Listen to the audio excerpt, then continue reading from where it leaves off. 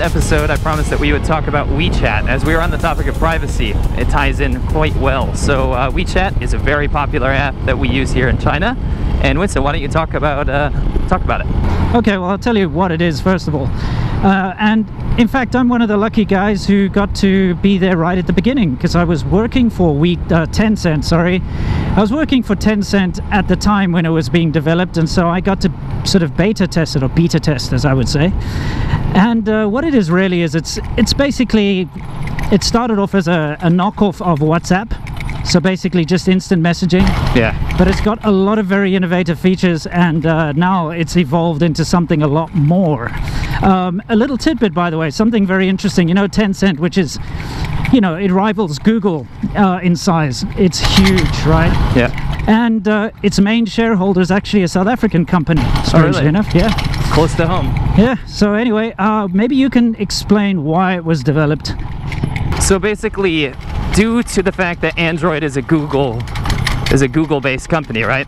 yeah Google services were quickly blocked and neutered really in China. So Android phones almost became useless. And because of the severe lack of app developers in China at the time, you had really kind of chintzy cheap apps that were trying to do things that, you know, Google couldn't get done here in China. So what happened was WeChat comes along from Tencent and includes a bunch of these services within its own app. So it actually turned into an operating system of sorts. So chat, payments, file sharing, all this kind of stuff became in one app and it kind of made this concise package that remedied all of China's problems. I guess yeah, that's not that's not wrong. Um, let's talk about what it's actually useful for, and I'm going to start with uh, how it started. Let's let's let's uh, start from the beginning. I mean, it basically was only an instant messenger kind of microblogging thing in the beginning, Right. and uh, you could use it to chat. And the the revolutionary thing was, of course, are we going down here? No, I thought we're doing Okay, just going straight. Okay. Um, the revolutionary thing was that you could send little voice messages. So you could hold down the button, speak into the mic, and it would shoot off a, a very small uh, voice message. So people started to use it instead of voice calls. Right. And, you know, you could send texts because it was just like WhatsApp. So it replaced text messaging and voice calls here in China. And now nobody, like literally nobody, makes phone calls anymore. They just send a, a WeChat message, you know, either voice or text. I don't either. Yeah, I don't. I only use WeChat now. Yep. So that that was the the primary reason for it, and it evolved from there. So maybe you could tell us what else it's used for now. So one of the most revolutionary features of WeChat, really what took it past the whole thing that Winston said as a chat app was WeChat payments and that basically tied your bank account to your WeChat account so you could actually use your phone to pay for everything. So go to the shop and buy things with it, go to the supermarket. You can uh, also, for me, like personally, it was really annoying to get big uh, wads of cash when people were paying for tuition from my clients in my school so they can pay me out WeChat now and it just goes directly into my bank account. So that became super, super useful for people and again ties back to the, the lack of privacy thing we talked about because WeChat Pay is connected directly into your bank account, which I think a lot of Westerners would have a problem with.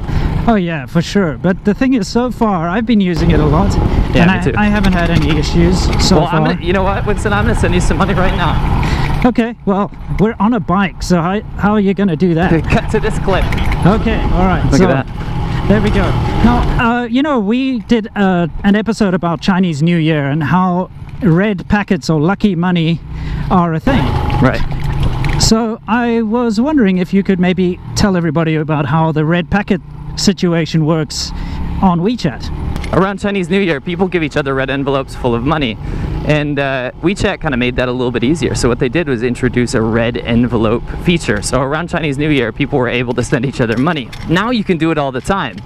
Um, you can do random amounts. You can send random amounts of money, or you can send specified amounts of money. So people that were not able to go home for Chinese New Year were able to send money back home through little red envelopes with a personalized message on it. So it's kind of kind of cool for people. But it did spiral into some nefarious things. Yeah, I mean, uh, people do gambling with that, right? It's There's- huge. It's a huge gambling scene for red envelope gambling on WeChat. Yeah, it's kind of interesting. It is. And let's stress that this is actually real money. This isn't like some kind of Bitcoin or something like that. Right. That It's- is it's real money.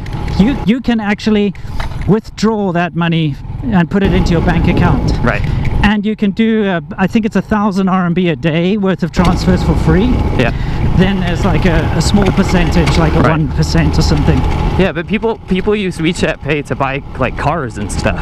Yeah, Like, you can use it for- When we rented the equipment for our big documentary, Conquering Southern China, we we paid for the equipment with WeChat Pay. That's true, actually. Yeah. And uh, you know, you've got that little QR code thing. So in the shop, you Right. can go buy your groceries, and then just basically they scan it. Yeah, so it's really useful for payment. Winston, what's what's one of the other like useful features that you like about it? Okay, well, they've started to add all sorts of things. So, look, we were talking about payment. I'm just going to quickly expand on that. You can also pay your bills, like your Oh, okay. utilities. Yeah. You can go pay for your water. You can top up your mobile phone. I forgot about it. It's so convenient that I forgot about that. yeah, it's That's really, how I pay really stuff. like it's quite amazing that you can do all of this now through this one single app. Right. But you know, I've just applied for. I'm moving over from a work visa to a spousal visa. Uh, And in order to do that, you have to book for your visa, right? Before you go in these days, you have to book online. yeah. So you can go through the very tedious process of going through their websites. It's all in Chinese, a pain in the ass. But actually, in the WeChat app, you've got these uh, official accounts, Yeah. right? And uh, one of them is basically for booking visas. So if you're a foreigner or even a a local and you need to do something at the Public Security Bureau, you can book your appointment through the app. So I booked my visa appointment, which is awesome. Where? There? Up here. Is there something up there? You mean here? Yeah. Yeah, yeah. I'll go right. Okay. You know, right is right, left is wrong. Yep. Okay, anyway, so yeah, that's that's another thing. These official accounts. So big companies can actually have proper official accounts that let you do things. You know, you can get coupons and do whatever you want. Yeah. So that's pretty useful. Um, what else is there? In terms of like services on WeChat, Yeah. there's also a lot of social um, services, and one of the biggest ones that we forgot to talk about so far is Moments. And Moments, Moments are Facebook, really. It's Facebook on your WeChat. Kind, kinda, yeah. I, yeah, you said people like have argued against that, but I, to me, it's like Facebook. It's like a Facebook wall, Okay. Yeah. and you post. You can post pictures, you can post short videos, and people can comment and like them, just like on Facebook. Except it is ad-free, so you only see the stuff within your friends list. And number two, it has a lot of good privacy features. Actually, like you can block certain people from seeing your posts and whatnot. yeah. So that's pretty cool too. It's like a little micro blog.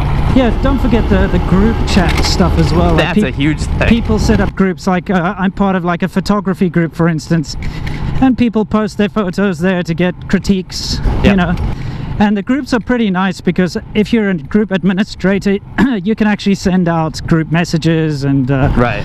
if you have an official account you can actually make money out of it somehow i don't really know how but You can also do conference video calls on group chats now as well, yeah which is cool. pretty convenient. You're talking about social stuff, you know, people. There are other apps that do it better, but people Yeah. actually use WeChat for dating. True. You can, in the WeChat app, actually just search nearby Uh, or get that message in a bottle, or you can do a shake, or, you know, there are many, many ways to find out just people nearby. true. So you can kind of specify you want to look for girls, and you can find them and you can send messages to them and say, hey, you know, I'm a creep who's just like. Tro- you realize now we have to actually send that message to someone. Okay, yeah. Well, I'm a creep, and I'm I'm here sitting alone, and I kind of looking for a little something, something. you know. So what do, am I doing here? so like, do you want to go for coffee or something? Um, Right. And then like, if you're lucky, you'll get someone who's like, yeah, well, you know, I'm a weirdo too. Yeah. So nice. yeah, people do do use it. Uh, I know a couple of people who've met their girlfriends through WeChat, Right. which is kind of strange, but yeah.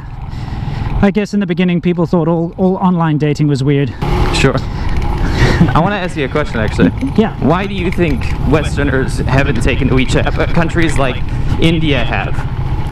I think it's due to privacy. Okay. I mean, WeChat is just so invasive. It takes over your phone, it has access to your contact list. Right. You know, like it ties into your bank account.